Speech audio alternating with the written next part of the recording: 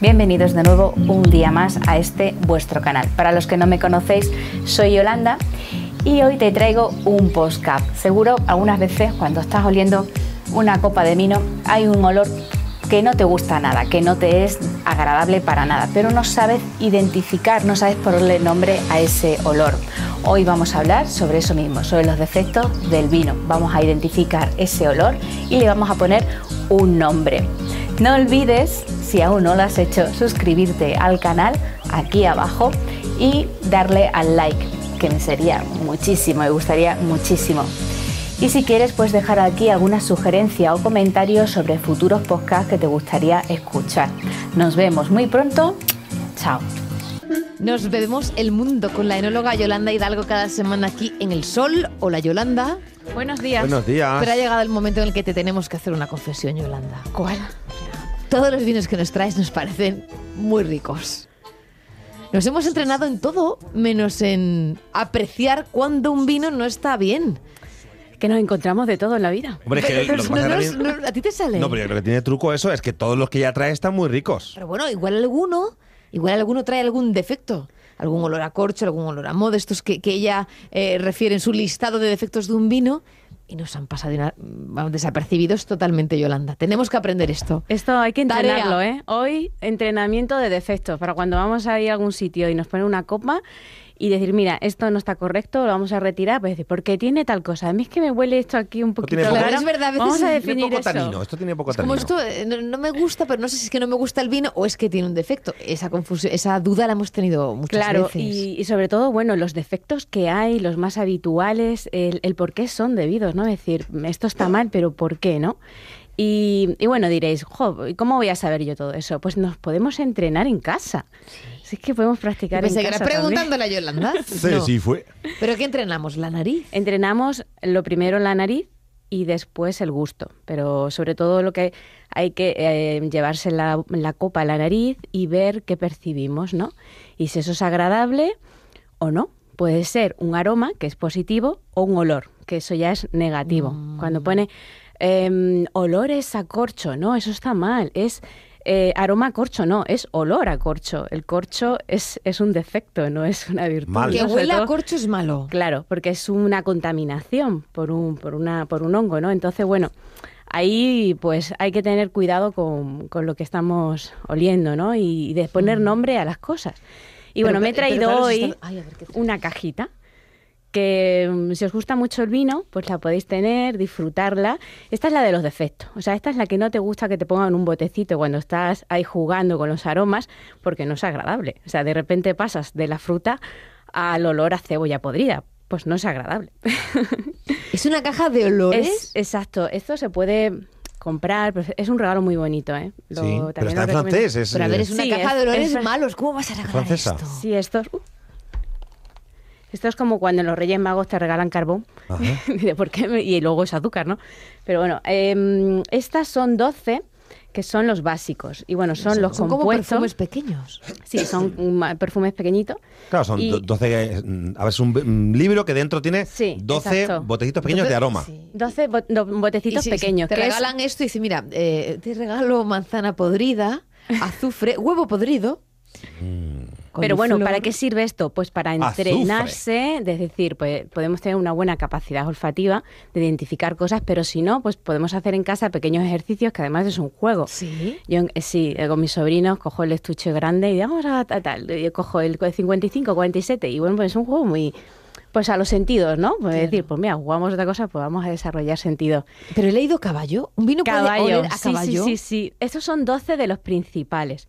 Y bueno, son pues compuestos que están ahí, podemos olerlos, identificarlos, decir, pues esto, y luego pues pasamos al siguiente nivel que sería verlo lo que es en un, en un vino integrado, ¿no? Vale. Eh, los principales defectos que podemos encontrar cuando vemos un vino, el primero, y, y es muy llamativo, es el, el TCA, ¿no? el olor a corcho. Que eso es debido a que, bueno, el olor del corcho, de esa alteración debido a un hongo, pues pasa al vino. Porque claro, embotellamos el vino y ese tapón está en, en contacto con el... ¿Esto se puede oler? ¿Lo puedo abrir y olerlo? Sí, pero tiene una técnica. Son botecitos muy pequeños y tienen poco volumen de líquido. Entonces no se puede agitar, ¿vale? Y solamente se olería eh, un poco, no, no hay que quitar tampoco la parte, Hay que quitar el tapón, solo sol- soltarlo un poquito. eh, quitar el tapón, no agitarlo porque se va a impregnar toda la habitación de eso. No, León, no abras. ¿No lo abro entonces? No, te pido que lo hagas fuera. No. No, bueno, vale, Huele no a caballo, a moa, a ¿A huevo cuál has abierto? podrido. Yo quería abrir el de azufre. Ah, uy, Azufre. ese te va a quedar, mm, ah, huélelo. Sí, este- Ese no es malo, ese no es malo. Este no- el tuyo no, está, no aparte de insonorizado, está pues, No, pero el azufre, del el- exterior, sin ventanas. En las Es termas de agua caliente las puertas hay- ni huele nada. azufre en las... Claro, sí, por ejemplo, vamos a centrarnos. El del, el del corcho es por bueno, la alteración del TCA, que hay uno ahí que es de corcho, ¿vale? Entonces ya tendríamos la identificación de ese defecto. Es decir, oye, mira, esta, esta copa me la retiras porque tiene un defecto que me recuerda al corcho. Cuando olemos, cuando abrimos una botella tenemos que oler el tapón. Si el tapón huele a corcho, ese vino va a tener ese olor. Si el tapón huele a vino, pues Ah, eso... vale. O sea, ya ahí Buen vamos a tener un truquito, ¿no? Porque claro, eso va a ceder. Si el tapón huele mal, le, va, le, ha- le ha cedido ese olor al vino. Siguiente mm, defecto que podemos encontrar, las oxidaciones. Esto el vino es muy sensible y es súper delicado. Es como con una manzana cuando la abrimos y la dejamos encima de la mesa varias horas. Cuando volvemos a verla está amarilla. Claro, ha perdido su color precioso, Su blanco, vigor. su vigor, su pues está, y se ha oxidado. ¿Qué ha Pues pasado? eso que se el ve. aire, Mm. eso se ve, ¿no? Pero bueno, ya mm, esos olores que tenemos, una manzana podrida, una manzana pasada. Y eso es un defecto debido a la oxidación. ¿Y por qué tenemos esto? Pues porque, bueno, en la bodega pues han dejado un poco el vino descuidado, el depósito no estaba lleno. O en casa, bueno, algunos bares que llevan muchísimo tiempo abiertas las botellas y notamos esos toques de aroma. Ya no huele a fruta fresca, ya huele a fruta podrida. Podrida. Sí, como las O sea, manzanas los- estas cuando los las vinos vemos que viejos están- está.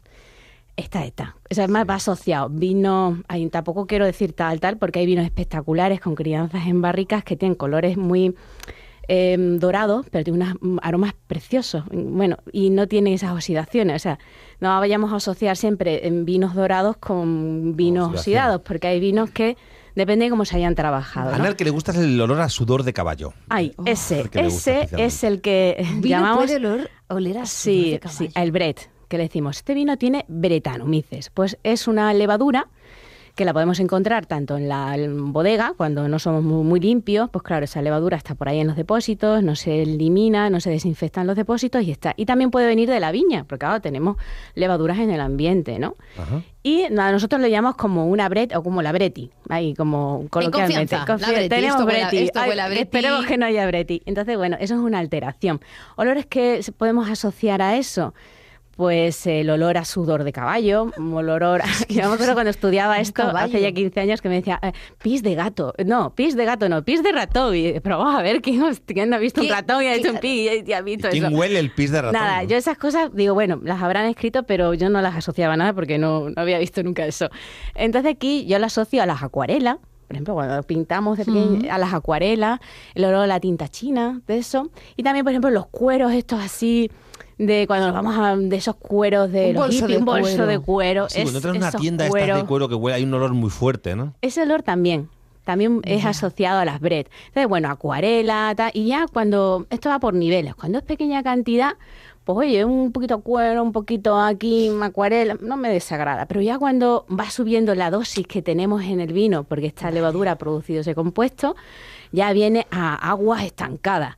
Y eso ya sí que ya tenemos una concentración tan alta Mm, que decimos, esto es estancada". súper desagradable. y esto, claro, ese aroma de ese compuesto producido por esa levadura, pues bueno, se acompleja con otros del vino y produce este olor tan desagradable, ¿no? Entonces, por favor, toda la gente dice que no tengamos brete en la bodega, porque es súper, te destroza el vino. O sea, esto es una contaminación, una alteración microbiológica y tal. Luego también existen mm, los antiguos estilos de vino. O sea, tenemos muchos padres, sobre todo yo digo, memorizados esos vinos de Rioja de muchos años, que tienen esos toques así, con un poquito de Brett, que les gusta. Han Como un memorizado Baron eso. Dandy. Sí, han memorizado eso como un vino guay, mm, de Rioja, y o, bueno, sobre todo en ese, pues bueno, es- ya no, ya hemos evolucionado y hemos cambiado ese tipo de estilo, ¿no? Pero hay gente que le gusta ese toquecito, un toquecito pequeñito, pero no que lleguemos a agua estancada. No, entre agua estancada agua y, vino como con olor entre a el caballo. cuero. Y exacto, cuando entras en una cuadra, cuando hay animales así, ese olor también tienen esos vinos, ese olor. Es, es- es un defecto. Eh, para algunos en dosis pequeñas le, le gusta. gusta, hay ¿no? gustos Les para colores, ahí. gustos, claro. Oye, hay gente que le gusta estar con gente sudorosa también, o sea que es que gustos hay para todo. Que le gustará eso. Bueno, depende del olor del, del sudor. Pero bueno, no vamos a entrar. No, hay otro olor. Este- te regalo este vino por tu cumpleaños que huele a cuadra como te gusta a ti, ¿no? Hay otros olores que vienen por las reducciones, ¿no? Y claro, ahí pues tenemos pues, como em, eh, cosas así cerradas, como hablábamos la semana pasada, y que vienen asociados muchos por los compuestos azufrados. O sea, nosotros utilizamos el azufre en el vino como conservante, ¿no?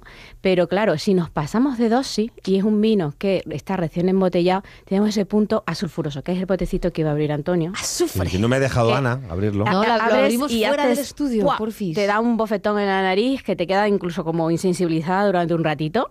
Y En realidad el azufre huele como a huevo podrido. Bueno, esa es la evolución, de ese es el siguiente paso. Yo lo del recuerdo en, una, en unas termas de estas de agua caliente, eh, que es ese olor, ¿no? El olor que hay de azufre, Sí. que se te queda en el bañador, lo tienes que lavar como cinco veces por lo menos para que se quite del todo. En las termas estas del agua que sale de la tierra, ¿no? Agua calentita, que es muy agradable, pero el olor es fortísimo. El olor, ¿no? pero eso es también del sulfuroso, es decir, tenemos el compuesto sulfuroso que se añade para conservar y en los vinos jóvenes recién embotellado te da ese bofetón, ¿vale? Y luego, porque está en una dosis muy alta. Sí. Y luego también ese compuesto evoluciona, se acompleja y da los sulfídricos, que es el olor a, a huevo podrido, que también está en uno de los botecitos. Hombre, si un vino Alguien no huele sabe a cómo- huevo podrido, dices, esto está Claro, mal. ese Es ya el único que es amarillo. Todos los demás son blancos y ese es amarillo, el del huevo podrido. Mm, La que tienes ahí, aso- se asocia además mucho al huevo, bueno, el color. Entonces, lo que decirte que es un olor desagradable y es por el, compu- por el compuesto de sulfídrico. También, pues bueno, eh, fermentaciones mal, mal llevadas, con que las levaduras se han estresado, eh, vinos que mm, pues nos han quitado a tiempo las lías en los depósitos y las lías se reducen. Tienen, pues claro, nuestras levaduras que se han muerto, pero algunas veces esas lías esas- son buenas, son limpias, son lías finas, y otras veces son lías gruesas. Gracias al concepto de levadura tienen- estresada, ¿no? pues sí, la- levadura que se las, levaduras se estresan como las personas, porque son pequeñas personitas chiquititas. Seres su vivos, son seres vivos. levadura, ¿no? Claro, ellas también, porque no se van a estresar, tienen que trabajar fermentando todo el azúcar que tiene el, el monstruo. las bacterias, Y se estresan con tanto trabajo que tienen Claro. que hacer. Necesitan comer. Y si no les da de comer, aún se estresan más. Y nos dan esos olores. Yo pensaba que el Pues único entonces- defecto de un vino podía ser que se avinagrara. Y Bueno, veo que no, que- también, que, que hay tam- muchísimo más. También está el, el avinagramiento, que es debido a una, ya aquí una contaminación, una Sí que son alteración. como las personas, ¿eh? Hay personas que se avinagran con los años también. El carácter, ¿sabes? Sí, el carácter. Sí, sí. Bueno, pues es, es una alteración, es una contaminación. Aquí tenemos una bacteria que, bueno, pues lo que hace es alterarlo y nos produzca ese ácido acético que, bueno, también volvemos a las dosis y a las cantidades y a las sensibilidades de las personas. Hay gente que con una pequeña cantidad lo detecta, diciendo, hostia, este vino está mal. Y hay otras personas que diciendo, pues yo no lo detecto. Pero esto pasa No, cuando lleva no abierto nada. mucho tiempo el vino. Sí, porque el oxígeno, volvemos a que nuestro superenemigo es el oxígeno. El oxígeno mm, o se trabaja bien porque acompleja las moléculas en los tintos, porque así estabilizamos color, o en los blancos y otros vinos, como tengamos oxígeno, ya perdemos Es fruta, una gran se nos la vida. El oxígeno es el que nos da la vida, pero al mismo tiempo es el que nos la va quitando poco a poco, porque a medida que nos va oxigenando, cada vez En tenemos... el vino es, es un enemigo, porque a ver, nos Pero pierde también necesita oxígeno al frutas. principio, porque también nos decía muchas veces que cuando abres una botella necesita que se oxigene Sí, un poquito para... sí, a ver, todo es hay que ver La dosis, la dosis. dosis, es decir, cómo estás hoy y qué es lo que necesitas. Hoy necesitas Claro. un poco de aire, hoy no, porque como Como te da un poco de aire, te me vas ahí Claro. y te me vas. Te Es eso, pierdes, entonces, como te dé aire, te me claro, Te la conservación. te imagino hablándole a la barriga. ¿Qué necesita? A la barrica. Ay, la- ¿Qué a los necesitas vinos, hoy? ¿Qué es necesitas, Cuando te estás con mío? ellos y estás catándolo, es muy bonita la ¿Tú le hablas a los vinos? No les hablo, ¿Les los, piensas? los pienso. Sí, los pienso mucho. Y bueno, cuando estoy que me gusta muchísimo, me deja sin palabras, me quedo en blanco. O sea, Sí. sí, eso es cuando me encantan. Queda como diciendo, ¡guau! Esto es una joya. Entonces, el, el oxígeno es nuestro enemigo y ahí tenemos que evitarlo. Y claro, tenemos esos toques acéticos. Y ya también, por ejemplo, otra cosa que tenemos de alteración es el, el acetaldehído, que también es provocado por la oxidación. También tenemos ese defecto ahí, mm, que esos vinos que algunos, bueno, nos puede recordar a los vinos de Jerez, pero no son vinos de Jerez, sino es una alteración en un vino normal elaborado joven, ¿no? Así que bueno, son alteraciones. Luego otros, por ejemplo, los mos. Eh, ¿Ah, la-? Claro, porque la limpieza es súper importante en la bodega. Es que es un alimento, es como la carne, es como la fruta, o sea, tiene que estar en un sitio limpio. Y si entramos en un sitio que está mm, con humedades, con telarañas, el suelo sucio, y tal, ves que la limpieza mm, La bodega de Drácula, ausencia. eso. este vino, pero bueno, Ausencia, a ver, claro. tus olores característicos, si hay moho, dices que son tierra mojada y champiñones. Y ninguna de las dos cosas huele muy mal. A ver, eh, es un defecto, sobre todo técnicamente porque mm, una barrica que se ha utilizado no se ha lavado bien, pues porque la bodega no tiene lavadora de barricas, no tiene agua caliente para limpiarlas, entonces queda no queda limpio, es como cuando limpiamos los platos en casa. Entonces, claro, ese resto ahí, pues claro, eh, eh, que se producen bacterias y levaduras y eso va a alterar el vino, no va a entrar en un recipiente limpio, desinfectado. Y entonces eso, claro, le va a provocar una cosa pues que no, no le va a venir bien, no le va a venir bien. Hombre, que el olor a humedad es bueno, mm, sí, porque te recuerda a esas lluvias y tal, pero es una alteración lo que hay en el vino. O sea que una cosa es lo que nos recuerda, Y- y esa Sí, que olorosa- si sabes de ¿Eh? vinos, dices, es un defecto. Si no sabes de vinos, dices, ay, me lleva el- bien huele. Huele a tierra mojada. Claro, pero esa una cosa es que huela a, a tierra mojada, pero que sea como las pizarras cuando se mojan. Es decir, ¿a qué huelen los minerales? Bueno, el mineral, tú te coges un cuarzo, te lo llevas a nariz y no huele, pero por ejemplo, las tizas mojadas sí que huele a tierra. Y eso es un olor a tierra que es, pos- que es Sí, positivo pero porque ese te puede olor, ¿cómo mineral. afecta al sabor? ¿Eso en el sabor también se nota tanto o no? En el sabor también, sí, sí, sí. Esto habría, bueno, primero se ensaya en la nariz y después iríamos a boca con estas con cantidades de compuestos ensayando en los vinos. A ver, yo he traído dos que tienen defecto. Los he hecho. O sea, ¿Los decir, has hecho? Los he hecho. Sí, uno es natural. Ay, que los ha servido ya y todo, Dios mío, que lo vamos a tener que probar. Le has puesto las No gotitas lo del probéis, olor ese- solamente. ¿Para qué No, no, no, no. que siempre uno, nos trae cosas uno es, deliciosas? eh, a ver, cuando es que es muy caro. eh, Brindemos, León, para que Esto lo has estropeado tú a posta. sí, Salud. ¿Qué vino era esto? Bueno, eran vinos que, que estaban bien. A uno, uno lo he dejado abierto en casa durante mucho tiempo, sin tapón ni nada. Y, y bueno, pues se, se huele a manzana verde, que es un tinto, y es un acetaldehído, ¿no? Entonces esto, voy a decir, pues mira, cuando huelas esto, que el vino mm, pues no ha estado bien conservado, ha estado con aire y tiene ese punto de ese compuesto que es una alteración, una oxidación. Y luego el otro es el, un corcho que he traído, que... No me huele mal. Ay, Yolanda, a mí Ay. tampoco. hay que ensayar mucho, ¿eh? Bien. Es que no me, huele, a ver, no me huele maravillosísimamente bien, pero... ¿De Tienen verdad? defectos A ver, los nos la traigo. cambiamos a ver esta qué me tal. huele un poco como a vino dulce. Volvemos a la percepción. Cada uno tiene pues un umbral de percepción Uy, y este sí cuanto huele- este huele y cuanto más se El desarrolle de el, León que- olfato este que lleva, a mí este sí que me huele, huele- fatal, acetaldehído. de todo. Acetaldehído. A mí el que ¿Y tiene- qué era el acetaldehído? La oxidación. Pues huele fatal. Es a manzana Y este sí que verde, huele, el que tenían así que huele mal. Curiosamente a cada uno otro nos huele mal del otro. Esto Pero, huele muy pero esto, mal. esto es es así, Oye, o sea, decirlo así, tal, qué pues ganas tú- de vomitar, por favor. Así. Esto retírenmelo, ¿por qué? Porque tiene esto, no, bueno, pues son los defectos Diría- que hemos visto ah, Este huele como a este huele a. Hay otro que es coliflor, Huele como a jarabe, también la coliflor, los compuestos azufrados, eso ya evoluciona, como puedes recordar a col, No, a retíralo, Ana, comidas este así. está malo. Entonces, bueno, eh, esos son los defectos que, como hemos visto, pues tiene una explicación técnica o de conservación de por qué ha aparecido en el vino. Ajá. Y eso, pues bueno, ya estarían los defectos que podemos ver en la parte visual, pero que bueno, que algunos yo si los encuentro, pues no me O sea, que en importa. los restaurantes, por ejemplo, cuando alguien deja media botella, eh, bueno, ahora ya que poco a poco nos vamos acostumbrando a llevárnoslo, ¿no? Llevarnos tanto la comida como la bebida. Pero si alguien deja media botella Llevar de vino, botellas, sí, sí, se, habrá ante- se habla antes con el restaurante, mira, me, si ya la has pagado, dejas- es tuya. No, bueno, No, pero no, llevarte a- tú. Esto, Ah, no, yo esto- tú lo haces con mucha naturalidad, Oye, pero a mí me parece una cosa muy botella. violenta. Tú llevas tu botella Yo llevo mi botella, sí. Previamente, bueno, me la llevo en el bolso a veces y le ¿Pero pregunto, por qué? otras Por- veces hablo previamente, Yolanda, le digo, me voy a llevar botellas. Pero porque eres del gremio. O sea, si lo hace una persona Pero que, lo no es hago en sitios gremio- que no me conocen y me dejan igualmente. Hablando todos, eh, mira, mm, yo le digo, cóbrame el escorche. Y luego ellos nunca me lo han cobrado. Pero nunca. Yolanda, Pero ¿cómo el ellos descorche? venden vino. El abrirla y el servirlo, claro. Y el ¿Cuánto cuesta atemperártela. Nunca me lo han cobrado, pero yo siempre lo digo. Pero a ver, ellos venden vino. ¿Cómo te vas a llevar? Hombre, tú si el luego vino haces consumición lugar- también. eh, te- cenas. Sí, pero me yo no- daría es un una pudor. forma de, de cuidar y de lo mimar hace al cliente. naturalidad que yo de verdad a mí eso me da deja pudor. Pero yo, yo preguntaba no ese caso, sino el caso en que tú te has pedido el vino allí, Ah, sí, y te has te tomado sobra. media botella y sobra media botella, y no te la llevas.